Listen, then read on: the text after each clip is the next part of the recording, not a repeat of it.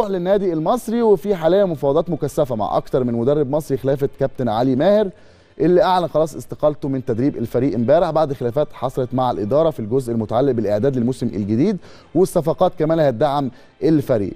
أحد أهم وأبرز المرشحين هو الكابتن إيهاب جلال اللي إدارة المصري البورسعيدي دخلت في عام في مفاوضات جادة معاه إنه يدرب الفريق خاصة إنه لسه لغاية دلوقتي ما وقعش على عقود رسمية مع نادي الإسماعيلي.